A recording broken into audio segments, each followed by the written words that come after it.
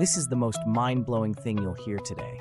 Your nose is always in your line of sight, but your brain just photoshops it out. Seriously, your nose is like that one friend who tags along everywhere, but somehow manages to stay out of all the pictures. Imagine if your brain could just as easily edit out the memory of your ex.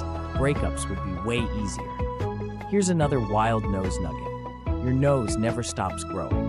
That means technically you're closer to becoming Pinocchio every single day. One day you might wake up and have to hurdle over your own nose to get out of bed.